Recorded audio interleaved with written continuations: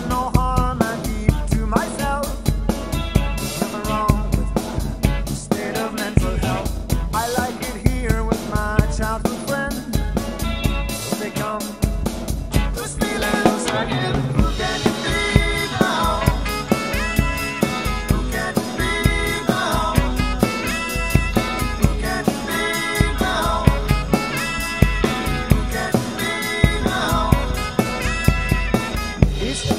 men come to take me away.